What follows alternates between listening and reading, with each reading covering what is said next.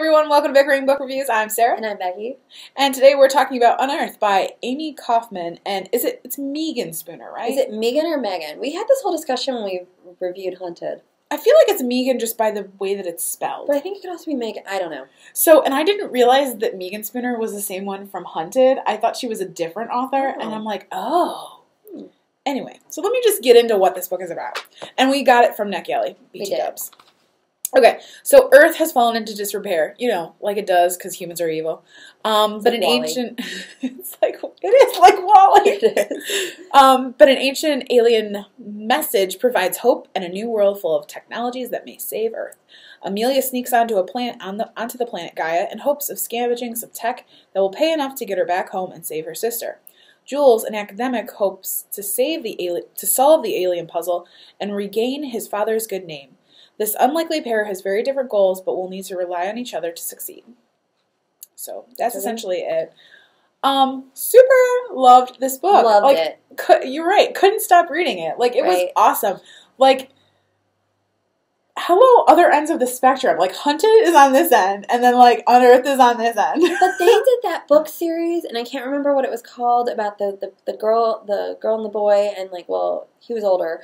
Um, and they they were, they were in a spaceship, and it like crashed. oh, and it, across the universe. across- it wasn't across the universe though. I was like beyond the movie. stars or something. I can't remember what it was, but I loved that too. And so when I saw that they wrote another book, I was super excited. So now I have to go back and read that other series because It's a good audiobook. this this book was really good. Like it is essentially Indiana Jones in space. That's what they keep, and it is so fast paced, and it's like a great adventure. It's a great girl book, but it's also a great boy book. Mhm. I loved the characters, I I did love I love I loved like all of the characters. the world I was building. interested in the guy. characters. even the bad guys I you know. liked, you wanted to know about. exactly. Their world building is awesome. Yeah, the world building was Um, awesome. I think the only thing that kind of lacked for me was the chance, like, because to so- they had to go through different kind of rooms to solve these different puzzles to kind of get to the end to kind of solve everything and figure out what the alien message was.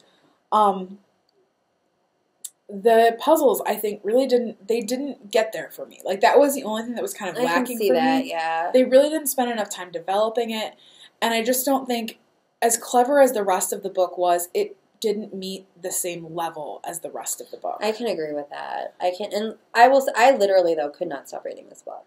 I couldn't either i mean and, and like and I- but the th- like kind of getting back to the puzzles like i love books like that we've talked about that before like what goes up love those kind of books so that's kind of why i was like Yeah. And now that you say that, I can see that that was that wasn't as good. But I will say, like anybody, I read this.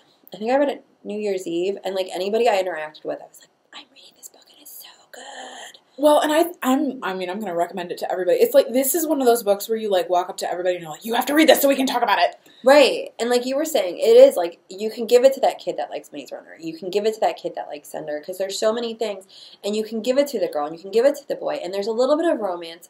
But they do everything. It's so much based on them being smart and clever and scrappy that it's not inappropriate for the twelve year old. So I mean, there's just it's it was just It's like this great book Great crossover appeal. because their other series is definitely older teen, but this Yeah, and this, this is like one- you could do tween. Well, and this one's like hard, like because you really could recommend it to like tween on up. Yes, You really could. I and like I said, I just I just enjoyed every part of it. There was no part of it that I had a problem with. I and I loved Jules and I loved Mia and I just I'm just frustrated because it left it in a cliffhanger, a and I can't wait I another year to figure out what happens. I need to know now. I, exactly. So we should just rate it. Okay. So on Goodreads, I don't even know if I've rated it yet, but I was gonna give it a four. And actually I was gonna go up, but no. I think I'm staying at a four. I think the I think puzzles I'm at a really four. I think I didn't go into the rating system. Sorry about that. So our rating scale goes from five unicorns down to two unicorns, and if it was spectacular, it's a horse. I'm going with like I, I'm so it's. I'm going with a five. I can't think of. I know. I know the puzzles. You weren't as big of a fan of the puzzles, and I feel like the puzzles could have been done a little bit better. But everything else just fits so perfectly. I cannot ask them to do better than that.